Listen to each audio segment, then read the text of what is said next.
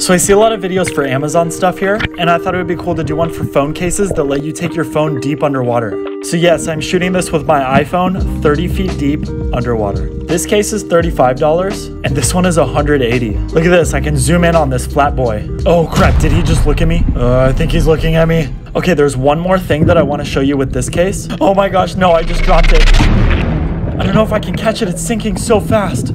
I just can't reach it. If you want to see what happens next, go to my YouTube channel.